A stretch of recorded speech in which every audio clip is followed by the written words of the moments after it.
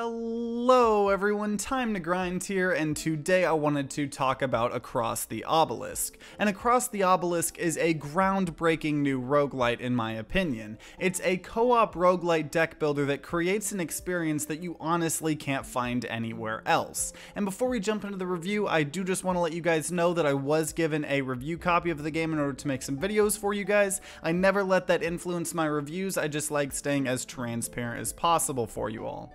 So Across the Obelisk is a deck builder similar to games like Slay the Spire. However, you have a party of four different classes. You have your mage, your hunter, your healer, and your warrior. And the game can totally be played single player, and if so, you just control all of the characters yourself, but I have played this game exclusively with three other friends to make up a party of four. And right off the bat, you and your friends start out in a town. Here you can upgrade your starting cards, buy new cards for your deck out of any of the cards you've previously unlocked, you can remove cards, and you can even buy passive items from a shop. What's so cool though is that you're all in the same town as each other. So you all have your own unique class cards, so you can't really interact with each other there, but when you go to the item shop, each item can only be bought by one player. So you have to communicate as a group what items would be good for what player. And once you all are ready to embark on your adventure, you see the map and each player can vote on what direction to go on. There's random events, enemies, boss fights, secrets, and more.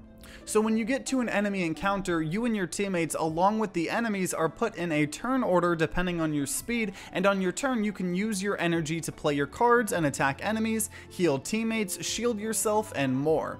And every class is very different from each other, and they all have different strategies and roles to fill. The combat itself is almost like a combination between Slay the Spire and Darkest Dungeon. So some attack cards can only hit the front enemy, and some can hit any enemy. So as an example, example, I have mainly played the Hunter, and he has a lot of ranged attacks that allow me to target enemies in the back, which is really awesome. You also can't see the enemy intent unless you apply a special status effect on them that allows you to see what they plan to do. And the game is actually extremely focused on status effects and resistances. So there's like 15 different types of damage in the game from slashing to fire to holy, and every enemy has a whole list of what they're resistant to or weak to. So a rock golem might be be like 50% resistant to slashing damage while a tree actually might be weak to it.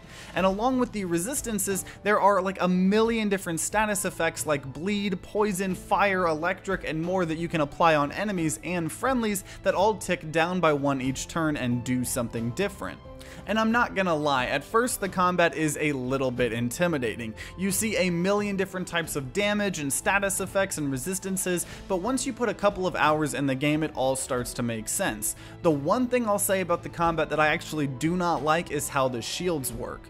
In the game, you can use certain cards to give yourself either shield or block, and one of them gives you shield for that turn in particular, and the other gives you shields next turn, and it just feels super redundant, and I wish that all block was just one type of block and it was permanent like some other roguelites. Obviously, all the block cards would have to be rebalanced, but it's just a pet peeve I have when it comes to roguelites that you all probably already know about if you watch the channel a lot. One cool thing about the combat though is that your mana doesn't reset each turn, so if you don't have any cards you want to play, you can just end your turn and save your mana for the next turn. But the last thing I want to say about the combat is that it is just so cool being able to watch all the other players take their turns in multiplayer, especially when you have cards like the Hunter does that allows you to let another player look at their top four cards of their deck and discard ones that they don't want. Like there's actually some interaction with the other players there. And it's just so much fun being able to strategize together and get builds that synergize with each other and give each other advice on each person's turn. And when you win combat, each player can choose from three different cards or some currency if you don't want any of the cards, and some of them can already be upgraded depending on how fast you completed combat. And this is the main way you unlock new cards. And like I said earlier, at the start of each run and at each town you go to, you can buy any cards to add to your deck that you've previously unlocked. So once you have a lot of them unlocked, you can kind of go for specific builds right from the beginning of the game.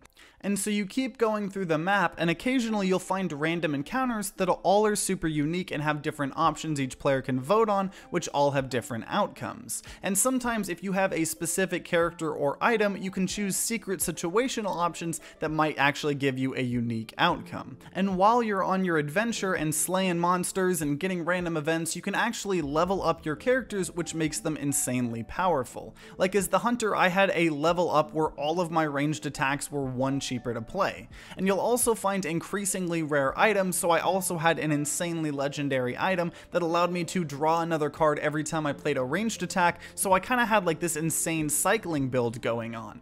And so obviously you try to go as far as possible, and it's definitely an adventure because each run can take a couple of hours to complete. But whenever you win or lose, you're going to want to continue playing the game non-stop, one because the game is just incredibly fun, but two, there is an absurd amount amount of amazing out-of-game progression. Firstly, you can actually level up your characters separately from the in-game way, which all it does is kind of just increase their stats slightly, but you can kind of choose which stats to bump up, which is pretty cool. Uh, you'll also find supplies for your town when playing, which can be used to upgrade the town itself, which can do a huge variety of things, like making removing cards free or even adding entirely new mechanics, like a pet shop to the game. And on top of that, there are entirely new heroes to unlock that completely change the game up as well. And the game just recently launched in early access, but I have to say, it could almost be a fully launched game. It has an insane amount of polish, the multiplayer works great, there's hundreds of hours of content and progression if you're addicted to the game like I am, and it's just such a unique experience that I honestly just need to tell everyone I know about it and I haven't played the single player yet, but from what I've heard, it's still very fun because you get to control all of the characters at the same time, and that includes an entirely new aspect to the game, but if you have friends to play with, I would definitely say that that's the way to play this game. So for me, it's just such an amazing and new experience because I'm the biggest fan of roguelite deck builders, and now that I can play an amazing one while messing around with three of my friends is huge. And speaking of which, if you want to see what the four-player co-op looks like and want to, you know, hear some banter and everything, uh, definitely check out my Let's Play series on the game because we go through some hilarious moments and get some awesome synergies together. But if you have played Across the Obelisk or just from watching gameplay, I would love to hear your guys' thoughts in the comments down below. And if you like roguelites as much as I do, then consider subscribing and ringing that bell like all the big boy YouTubers say to get notified when more Across the Obelisk content comes out or some more roguelite reviews. But if you're going to be grinding out some Across the Obelisk, then I wish you luck and see you all next time.